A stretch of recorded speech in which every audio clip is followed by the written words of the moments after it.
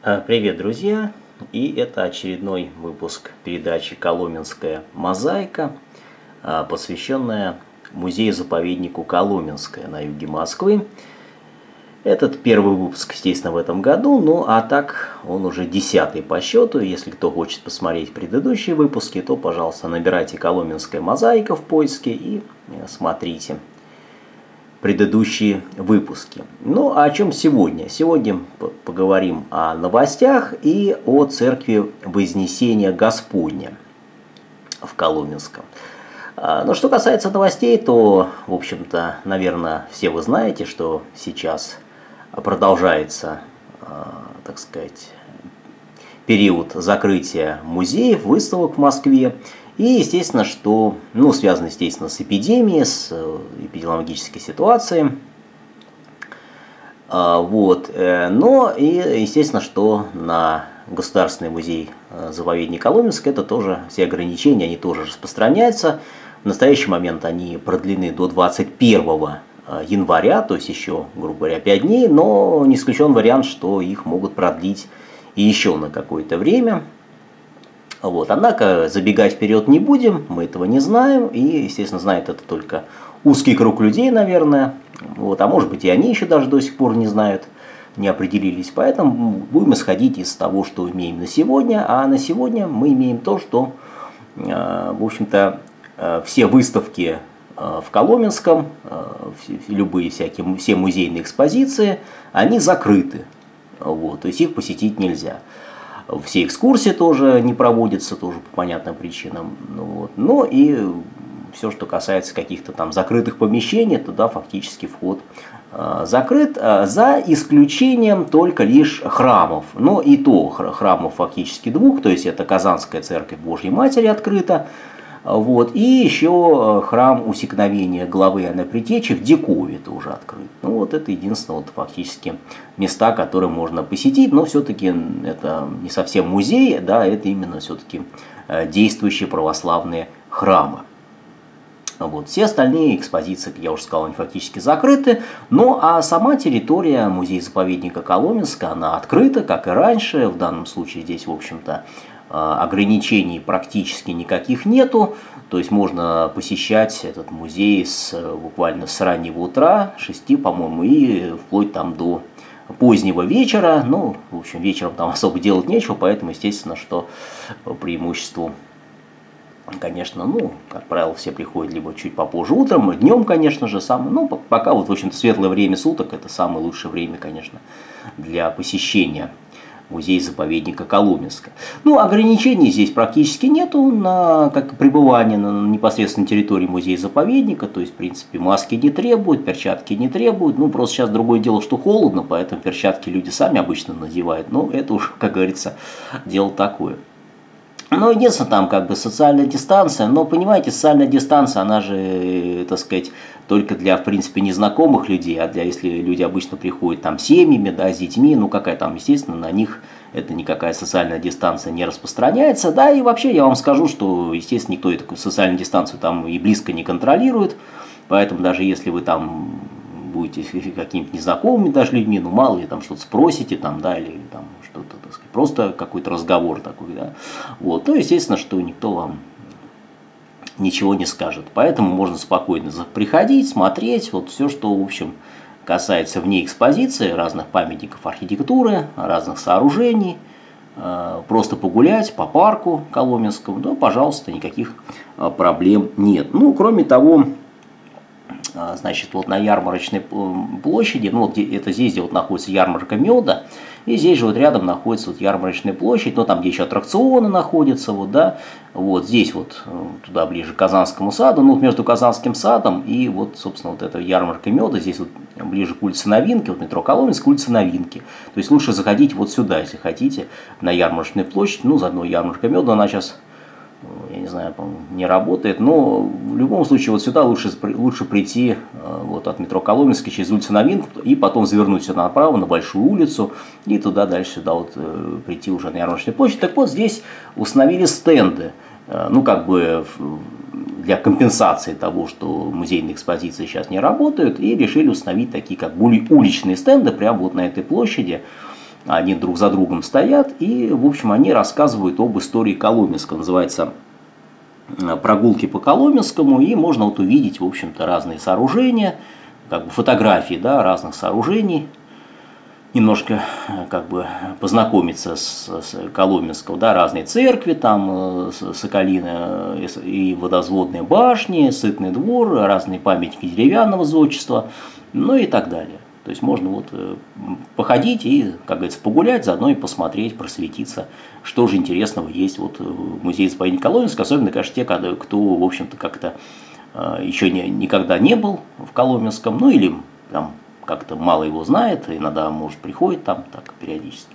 Так что, в общем, такой, ну вот, небольшая как бы, э, что ли, э, замена, да, того, что вот этих экспозиций, ну, хоть какая-то, да.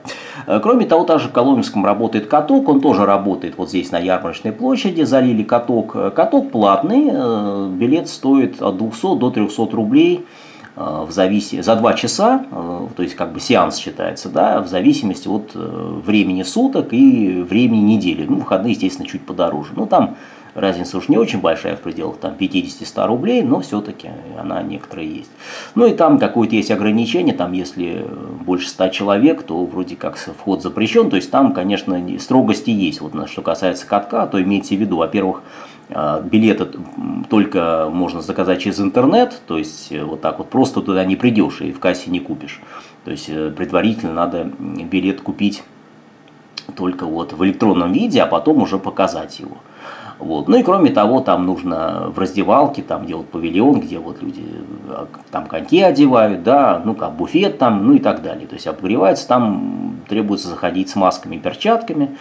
То есть вот такие ограничения тоже есть, поэтому имейте в виду, так что, ну, на самом катке вроде можно кататься без перчаток, э, ну да, без масок, без перчаток, но, в общем, в открытых местах, ну а в закрытых, в общем, все равно требует, в общем, короче, без перчаток и маской лучше не приходить, ну и билеты тоже только в электронном виде, так что получается, что такие ограничения довольно серьезные. Ну и кроме того, также в музее Коломенская сейчас действуют две лыжни. А, одна такая достаточно большая, она проходит вот э, буквально, начинается вот здесь, ну вот прям в начале, вот, да, как раз музей-заповедник около входа, вот тоже со стороны улицы Новинки.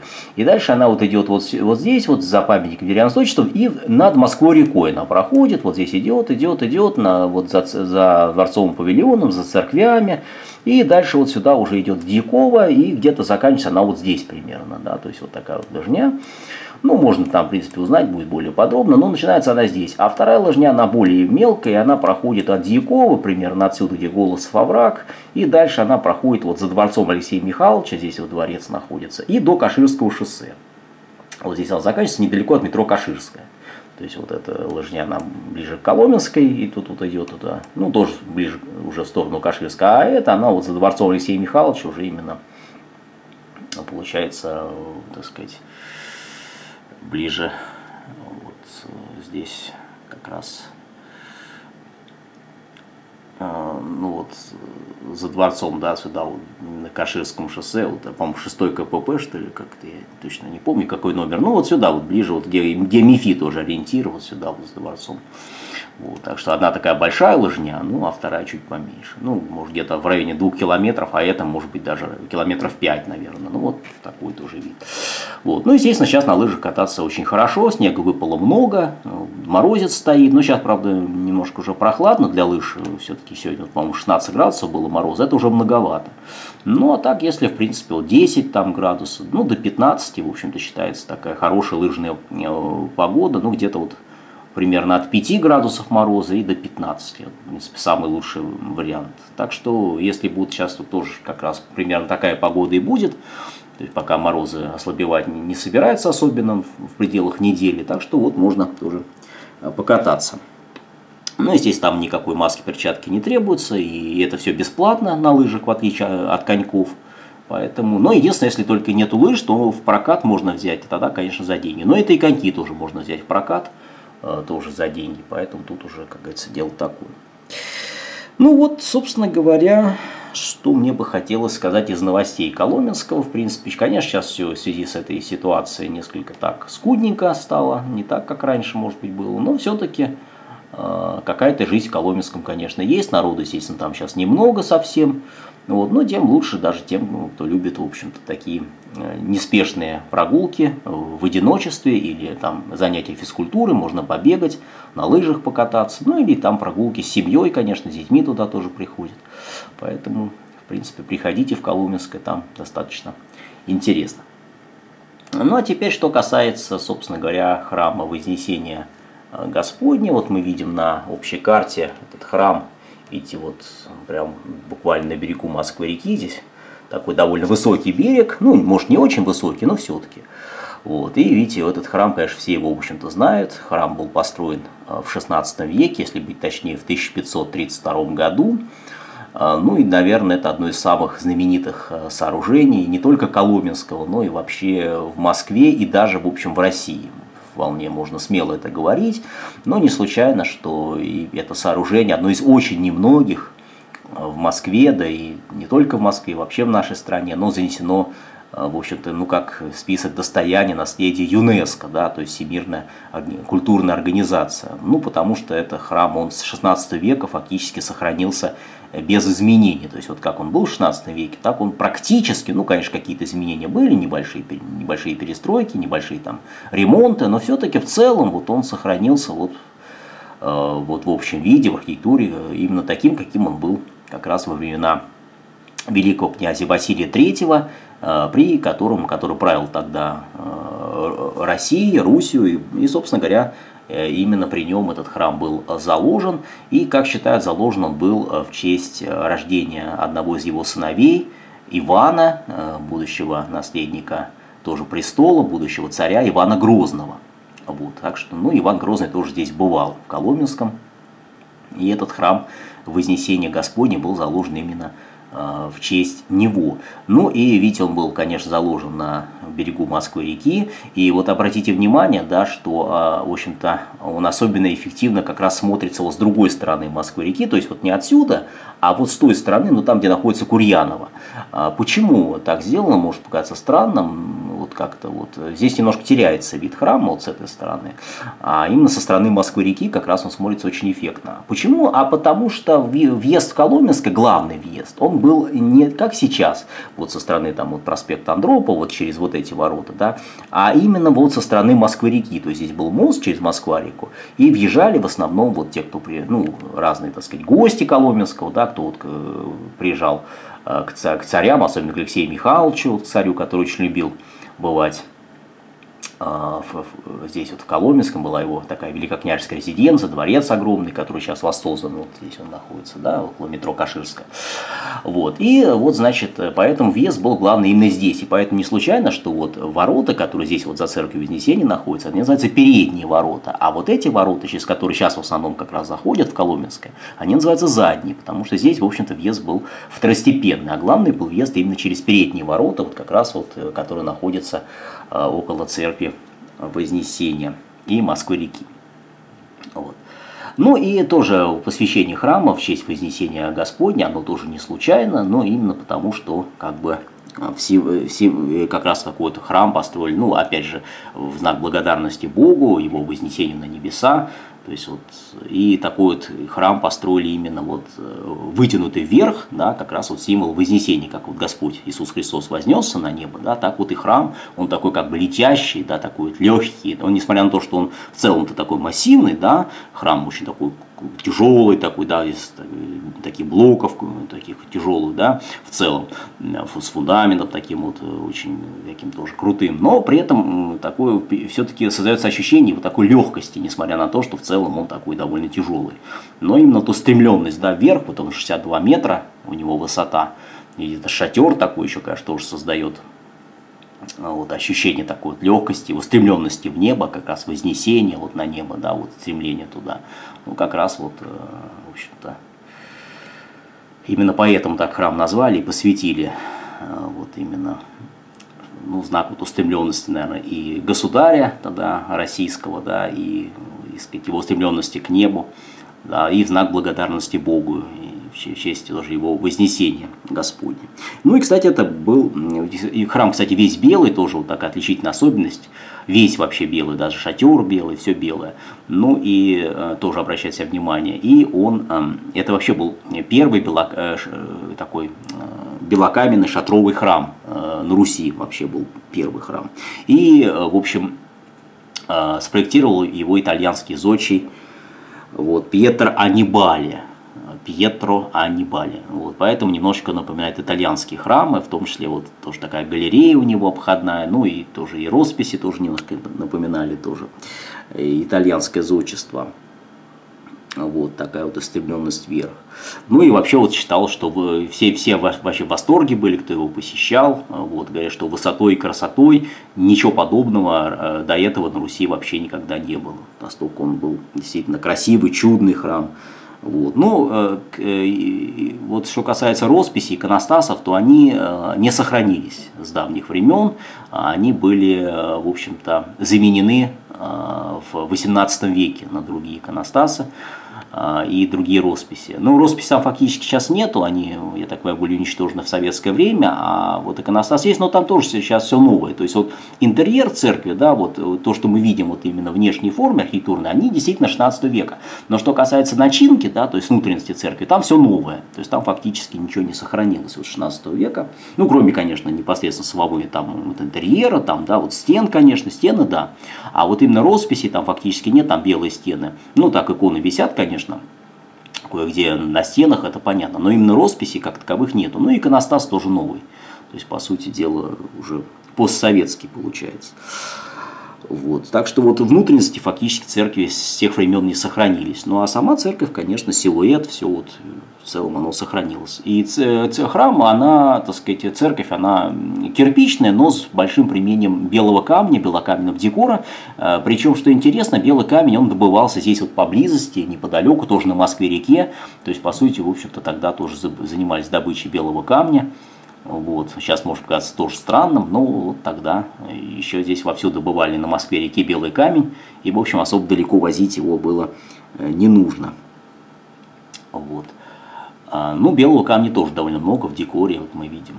Вот. И, кстати, обращайте себе внимание, тоже э, толщина стен, очень толстые стены. Если вы когда были здесь, да, или будете, то обратите внимание, прям такие огромные толстые блоки, буквально чуть ли не метровой толщины, но очень толстые стены. Вот. Также интересно то, что храм не отапливается, он вообще никогда не отапливался, и поэтому этот храм, ну, кстати, по сути, не был никогда приходским, то есть этот храм, он, по сути, был всегда именно великокняжеским, царским храмом, да, то есть это был таким государев храм, потому что была вся, вся государева резиденция, и поэтому, естественно, посторонних сюда фактически не пускали, то есть тут все было только для э, царя, его, его семьи, приближенных, ну, гостей приглашали, естественно, да, а так вот в целом, так вот свободно этот храм посетить было нельзя раньше в царские времена. Но потом уже, да, стало проще. Ну, а, а, а соответственно, уже потом, э, в советское время, естественно, храм закрыли. И, э, в общем-то, э, он стал э, использоваться музеем, заповедником Коломенской, который здесь был создан. И вот э, с 1923 года по 1994 э, храм был закрыт. То есть здесь в храме был только музей, то есть можно было просто с этих экспозиций, по сути, он просто был закрыт. Вот. Ну, а в 1994 году его снова открыли, ну и а, теперь, соответственно, этот храм используется и как музей, то есть музей остался, вот, и как храм. Но храм, он, в общем-то, конечно, э, поскольку он не отапливается, то работает он только исключительно в летнее время. То есть вот от Пасхи, которая, как правило, бывает где-то в апреле, да, Э, ближе к началу мая, ну и э, до Дня Покрова Божьей Матери, то есть до 14 октября примерно вот храм работает. То есть тогда, когда теплое время, то есть когда не требуется отопление для проведения богослужений. Вот. В другие дни, то есть сейчас вот, допустим, зимой он не работает, не работает этот храм, вот, и, то есть, потому что он не отапливается. Ну, естественно, в неотапливаемом помещении как-то вот понятно, что богослужение проводить не будешь по многим причинам, поэтому, естественно, что он закрыт. Вот, вот так тоже. Ну, отопление как проведешь, там, естественно, это все очень сложно, поэтому как-то он всегда был так называемый холодный храм, то есть только вот именно для проведения богослужений в теплое время. А так, конечно, в основном работает вот этот вот Казанский храм, Казанская церковь, это главное. Ну и вот Дикови тоже еще стихновение. Его, конечно, намного меньше посещает, он сам поменьше. Вот, но, в принципе, он тоже используется. Ну, а главный, конечно, этот Казанская икона Божьей Матери здесь вот, ну, в центральной части Коломенского, это главный храм. Ну, он не только, он круглый год работает, естественно, он отапливается, так что там все в порядке. Вот. Ну и кроме того, также у этого храма нет, собственно, духовенства, вот у Вознесения Господня.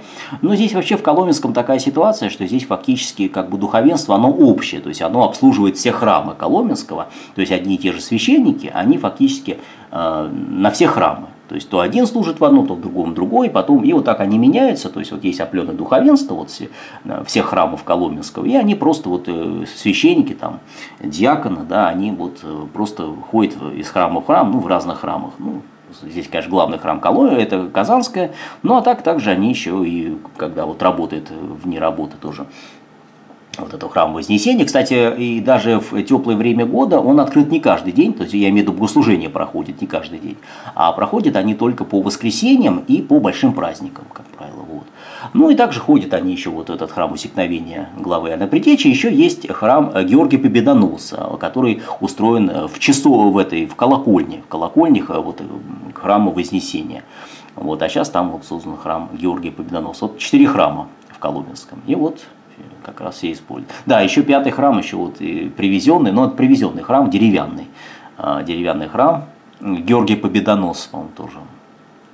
Но это вот здесь вот находится уже в деревянном храме. И, насколько я понимаю, там тоже только летом служат. Так что получается пять храмов. Но раньше было четыре, сейчас еще вот тут пятый.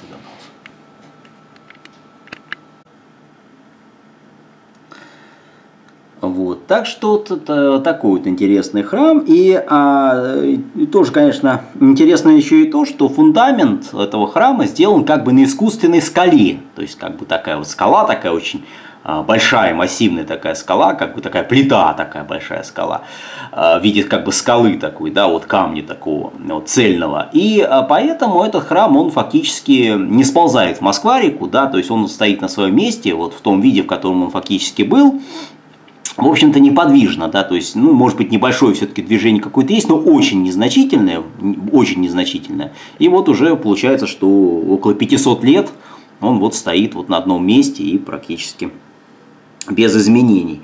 Ну, естественно, что, конечно, храм нуждается в реставрации, и она, в общем-то, в принципе, проводится, и в советское время она проводилась, ну, как, какая-то хотя бы, да, как бы частями. Но и, соответственно, уже в постсоветское время, 2000-е годы проводилась она. Ну и вот последняя, в принципе, реставрация, она проводилась а, уже где-то в 2013-2014 годах. А, ну и вот в итоге, в итоге, а, соответственно, ну, более-менее как-то вот все-таки удается сохранять этот храм в очень красивом виде, в подновленном виде. Вот, ну, э, в общем-то, э, наверное, все-таки, может быть, э, потребуется более масштабная реставрация, но ее начать, конечно, не так просто все, это все-таки тоже объект ЮНЕСКО, ну и в результате не знаю, как все это будет происходить, но, возможно, когда-нибудь этот храм коснется и э, более такая масштабная, а, основательная реставрация. Э, ну и опять же обратим внимание на обходную галерею гульбища, которая окружает вот этот храм, да, вот наверное, тоже обратили внимание, там такие есть лестницы, всходы на вот этот, ну как бы такой рода балкон, но все-таки балкон, он окружает по сути весь храм, вот, и вот, в принципе, иногда бывает закрыт, но, как правило, можно подняться по лестницам, довольно крутым, так что можно испытать свое сердце, свое здоровье, а, вот, и уже вот погулять вот по этой вот галерее, обходной галерее, которая окружает храм. Да, кстати, храм создан на довольно высоком подклете, а назначение этого, да, где сейчас вот э, находится как раз музейная экспозиция, которая называется «Тайна церкви Вознесения». Вот, можно посмотреть, там собраны разные археологические а, раскопки, которые проводились вот э, вокруг этого храма, вообще на территории Коломенского, и которые относятся к этому храму. Можно посмотреть древние фундаменты, там видны некоторые фрагменты, там такое прочное стекло, на которое можно вставать и смотреть вот эти вот э, древние фрагменты. Ну и вообще в целом очень много фотографий храма, в том числе древних, э, много разных чертежей, там вот каких-то первоначальных замыслов, вот разных информации вот об этом храме, то есть тоже можно посмотреть по-моему, 150 рублей туда стоит э, вход на эту, вот как раз под клеть она находится, да, вот на, на котором как раз вот стоит этот храм. Вот, ну, по-моему, 150 рублей, но сейчас она, естественно, закрыта, опять же, как я уже сказал, как, как и все экспозиции в Коломенском. Но это, естественно, временно, но я думаю, что вскоре уже ее снова откроют может по весне э, или там пораньше даже, и снова можно будет ее посещать. А, ну а, собственно говоря, вторая экспозиция, это, собственно, сам храм, то есть э, надо, для того, чтобы в храм попасть, надо подняться по довольно крутой лестнице, и вот, ну, фактически на второй этаж, и вот там уже находится сам храм. Он, кстати, очень небольшой сам по себе. У меня даже есть ролик, э, я делал небольшой такой маленький ролик, буквально 20 секунд, вот внутри вот этой церкви. Так что можете посмотреть на этом канале тоже, кто не видел. А, вот, ну, чтобы иметь представление, собственно говоря, что, а что там внутри этого храма находится. И вот я заснял вот непосредственно интерьер этого храма на видеокамеру. Вот. И он очень маленький, очень маленький, там буквально может поместиться внутри там, ну, человек 30, э, может быть, так вот от силы, то есть совсем небольшой храм, вот кажется, он такой сидит вроде, видите, монументальный, крутой, а на самом деле за толщины стен, э, вот, э, то, ну и в целом, да, он на самом деле Э, внутри-то не очень большой. Вот. Там все такое миниатюрное, маленький иконостасик такой, все прям почти игрушечное, кажется. Ну, а вы знаете, а почему это было сделано? А потому что, как я уже говорил, храм-то он не был приходским. То есть он изначально не был рассчитан на большое количество людей. Э, в нем всегда было мало народу, потому что он был именно для э, царя, для князя, да, великого князя и для членов его семьи. Поэтому, естественно, ну а зачем было строить большой храм вместительный, в этом не было никакого смысла. Ну, могли гости там приехать, там, допустим, вместиться и так далее. Ну, а в целом именно поэтому храм был такой маленький. Ну и сейчас, естественно, в него уходит, в общем-то, в основном тоже с экскурсионными такими целями, а постоянных прихожан в этом храме практически и сейчас нету. Потому что в основном ходит именно в Казанский храм, а сюда очень мало. Так что вот как бы одна музейная экспозиция непосредственно в подклете находится храма, ну а вторая это, собственно говоря, сам храм. То есть вот интерьер самого храма, он это не только место богослужений, но еще и э, как бы своего рода такой памятник прошлого, такая вот тоже своего рода музейная экспозиция, музейное пространство такое вот, э, вот памятник старины. А вот. Ну и галерея Гульбища тоже такое красивое место, если тоже удастся попасть, тоже красивый вид открывается вот на территорию вокруг передних ворот и так далее. Ну и сами вот тоже белокаменный угол. Во-первых, шатер обращает на себя внимание, очень красивый шатер, который занимает около одной трети вообще всей высоты храма. Причем шатер очень красивый, там с ромбиками, ромбики такие есть. А, вот, как бы ромбы на шатре тоже такие белые, очень красивые, белокаменные. Ну, еще келевидные кокошники тоже красивые, обращают на себя внимание. Ну, и также стрельчатые окна, но еще обратил бы внимание на такие плоские прямоугольные выступы, э, пилиастры такие на углах стен этого э, храма, тоже вот красиво. В этом храме издавалось даже целые книги, целые книги писали, целые исследования. Вот. В принципе, даже вот можно, наверное, купить э, там в сувенирных магазинах на территории Коломенского. Не знаю, сейчас еще есть эти книги, нет об этом храме. Но раньше прям специальные вот книги даже были посвящены этому, этому храму. Ну и, и непосредственно храме говорит, естественно, во всех книгах этого, посвященные Коломенскому, но и были даже специальные храмы, даже моногра... Э, книги, монографии даже, которые открытки, посвященные именно вот этому храму. Ну, в частности, вот был такой журнал, выходил еще не так давно, сейчас прекратился выпуск, э, который назывался «Православные храмы России», и вот один из выпусков, едва ли не первый, был посвящен полностью, ведь целиком весь выпуск именно вот этому храму Вознесения Господня в Коломенском.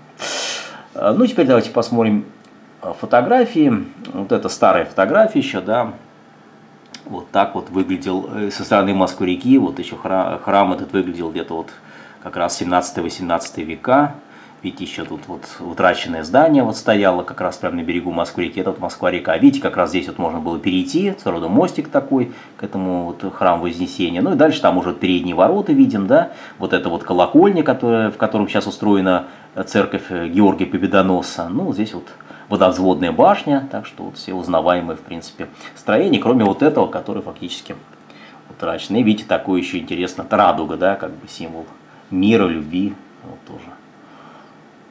Вот. Ну, а это вот такие вот, это уже мои фотографии, дальше пойдут, сделанные в разные годы, ну, примерно вот за последние 10 лет. У меня часть фотографий еще не оцифрована, то есть находится в бумажном виде, в том числе посвященной Коломенскому, поэтому я их показать пока не могу, но вот то, что есть, вот это вот как, как такая галерея, посвященная храму вот именно Вознесения, которая а, а, была некоторое время, вот стояли такие стенды около прям вот непосредственно здания администрации музея, около центрального входа, Коломенска, недалеко от метро как раз.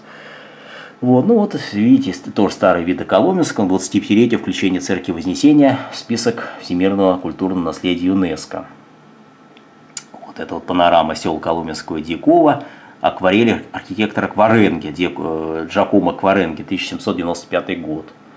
Вот, а это вот у нас уже вот, и как раз вот экспозиция вот церкви Вознесения, тайна церкви Вознесения, о которой только что говорил, ну вот, примерно можно посмотреть, да, вот как она выглядит. Ну, всякие вот эти керамические раскопки там были сделаны, да, вот эти царские врата еще старые, вот, ну и тоже вот рядом лежат тоже всякие археологические тоже раскопки. Вот. Ну, тоже вот описывается, что церковь в 23 году, в общем-то, она перестала работать, и она стала частью музейной экспозиции. И вот в 2014 году как раз открылся вот в подклете, да, вот экспозиция Тайны Церкви Сень, которая работает до сих пор, то есть уже получается, ну, около 7 лет она работает, и здесь вот всякие чертежи, проекты, фотографии вот церкви, ну и так далее, первоначальный белокаменный декор, ну, то, что вот нашли при раскопках, так что можно, ну и также вот с историей церкви этой можно познакомиться э, в постоянной экспозиции вехи истории Коломенского, так что вот тоже, ну, где, кстати, вот находятся царские врата вот эти вот. Вот. Насколько в Цитном дворе эта экспозиция э, вехи истории Коломенского. Так, ну вот, э, видите, написано, когда она работает, да, в летнее время, с мая по сентябрь. Так. Ну, даже я бы сказал, надо с, с апреля по октябрь. Ну, в общем, немножко разное меняется время, но в любом случае это теплое время года. Вот, под клете работает Тайна Церкви Вознесения.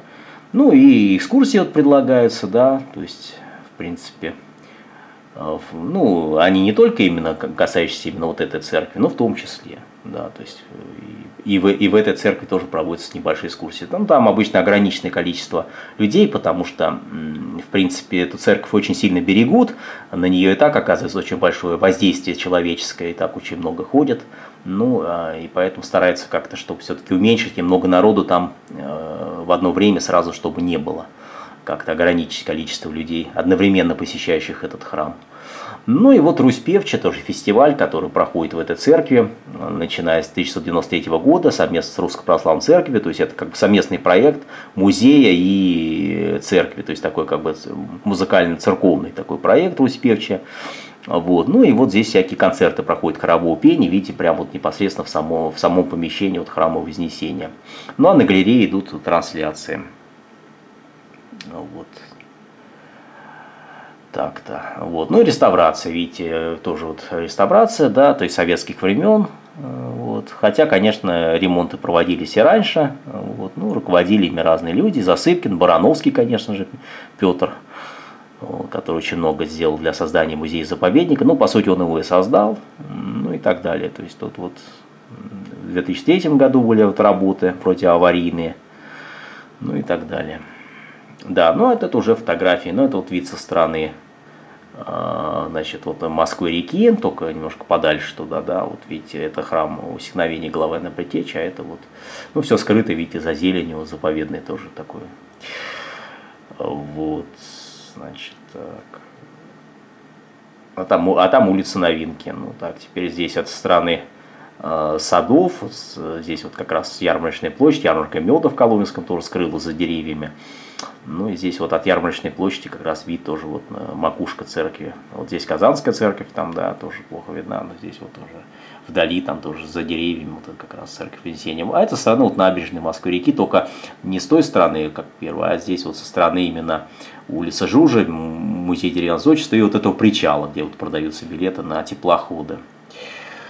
Вот, но это же вблизи, вблизи церковь, вблизи вот вид да, на храм. Вот. Вот этот э, колокольня, храм Георгия Победоносца, здесь же находится рядом. Вот он, видите, храм Георгия Победоносца, это колокольня. Храма Вознесения, она отдельно стоит, видите, какая. Ну и здесь вот видите обходные тоже галереи, вот они пилястры прямоугольные, тоже красивые, вот ромбики, ну плохо видно ромбики, ну эти пилястры, кокошники, видите какой ряд таких вот, как горочкой такой идет, да. Ну вот этот подклет, здесь как раз вот вход идет на экспозицию. Ну вот, так вот. Видите, цветнички здесь делают. Тут очень много народа. Часто концерт устраивается здесь вот на поле, прямо перед храмом Вознесения. Вот разные такие ярмарки бывают, всякие мероприятия проводят, все очень красиво оформляют. Вот, ну вот видите, сколько народу здесь часто бывает, вот тут какие-то и кадеты, курсанты всякие, ну много людей из управы тоже приезжают, всякие сотрудники, экскурсии проходят, очень много. Но ну, это летом, конечно. Летом здесь жизнь просто бурлит. Вот. Ну это вот осень уже. Осень. Листья опавшие уже. Около передних, от передних ворот вид. Вот там, ну, там Москва-река дальше. Ну вот это крупным планом. Храм, видите, какая обходная галерея. Здесь хорошо видны вот эти, видите, кокошники красивые, которые как бы идут туда, вот тоже высь устремляются. Видите, перспективные вот такие порталы и вот эти вот дальше ромбики такие на шатре. Вот обходная галерея тоже, на которую можно подняться. Видите, такая лестница идет одна, другая, там несколько пролетов лестничных. И вот попадаешь прямо непосредственно вот на это обходную галерею гульбище. Ну, как бы такой балкон большой. И вот можно так и посмотреть. Тоже красиво все. Вот еще вид. Народу весь сюда очень много здесь. Ну, церковь не все заходят, ну, по многим причинам. Не все верующие, не все хотят, не всем это нужно. А так снизу, конечно, Народу всегда много. Тут на Москву, около Москва-реки гуляет народ. Ну вот еще фотография. Вот, поближе. Ну, я думаю, вы это все можете видеть, в общем-то, сами. Так что, в принципе, так я показываю. Ну, я думаю, что многие из вас, конечно, все это видели своими глазами. Ну, а если, конечно, вдруг каким-то образом не видели, то, конечно же, приглашаю посмотреть. Ну вот, наверное, на сегодня мы закончим эту передачу. И будем надеяться, что получили много интересной информации, познакомились с храмом Вознесения и с сегодняшним положением дел в музее-заповеднике Коломенское.